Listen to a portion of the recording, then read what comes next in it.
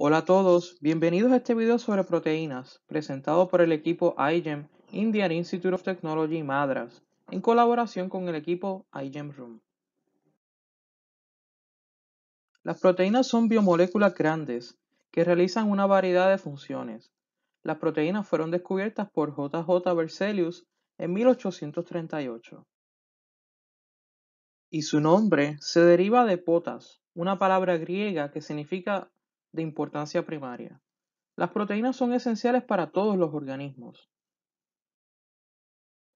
Desde la señalización celular hasta la actividad muscular, participan en casi todos los procesos biológicos. ¿Cómo se ven estas moléculas de soporte vital? Las proteínas contienen uno o más polipéptidos. Cada polipéptido es una cadena lineal de aminoácidos. En la naturaleza se encuentran 20 tipos diferentes de estos aminoácidos. Los aminoácidos adyacentes están unidos por enlaces peptídicos. Las proteínas difieren entre sí principalmente en su secuencia de aminoácidos. Hay diferentes aspectos de la estructura de una proteína, es decir, primaria, secundaria, terciaria y en algunos casos cuaternaria. La secuencia de aminoácidos se conoce como la estructura primaria de una proteína.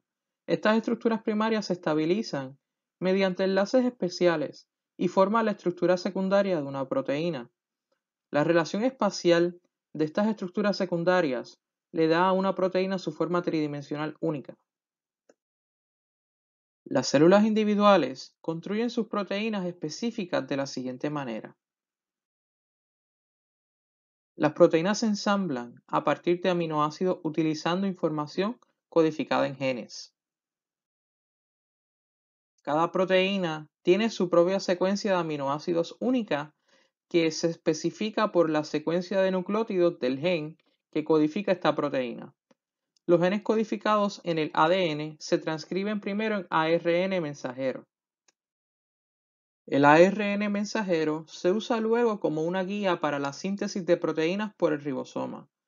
Todos los aminoácidos requeridos son ensamblados juntos por el ribosoma para formar una proteína.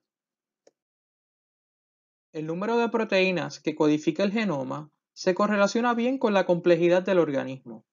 Los organismos bien desarrollados, como los seres humanos, tienen casi 15.000 proteínas codificadas en su genoma. Las bacterias tienen alrededor de 3.200, mientras que los virus tienen solo 42.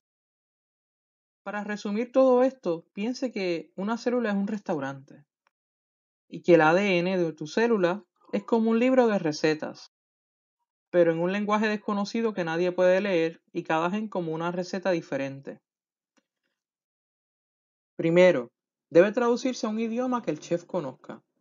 Este es el papel del ARN. Entonces, el ribosoma, actuando como el chef, lee la receta y cocina el plato.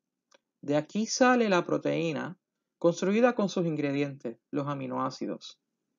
El libro de recetas rige lo que se servirá a los clientes, pero no puede hacer nada solo. Por lo tanto, estudiamos todas las moléculas y cómo ellos realizan todos los procesos para ejecutar un restaurante sofisticado. ¿Cómo el ADN se convierte en ARN y proteínas? Lo discutiremos en nuestro próximo video. Hasta entonces, adiós.